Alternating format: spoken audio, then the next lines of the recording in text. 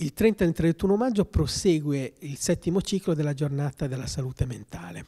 Le persone affette da disturbi eh, psichiatrici sono molto vulnerabili perché spesso non hanno accesso al mondo del lavoro, al mondo dell'istruzione. Infatti il, eh, i tre temi fondamentali di, questo, eh, di, queste due giornate del 30 e 31 sono lo stigma, prima di tutto, eh, i rapporti tra salute mentale e mass media, e il, eh, il, patto per la salute mentale che è un patto cittadino che vogliamo mh, mm, cercare di realizzare anche alla Spezia perché esiste già a Genova e che cercheremo di realizzare anche alla Spezia proprio per cercare di unire, eh, fare rete, unire tutte le forze che sono presenti in campo a livello cittadino, quindi eh, politiche, sociali, economiche, le associazioni il, del, del, volontariato e le istituzioni chiaramente sociali e sanitarie per eh, favorire proprio l'inclusione inclusione delle, dei pazienti affetti da disturbo mentale.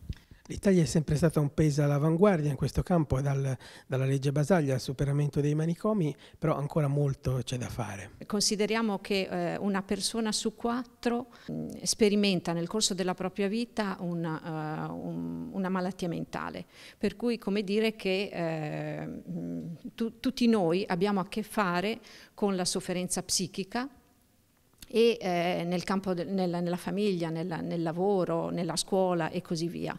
Eh, e anzi eh, ci può essere qualcuno che ne sta soffrendo in questo momento o che ne soffrirà in futuro.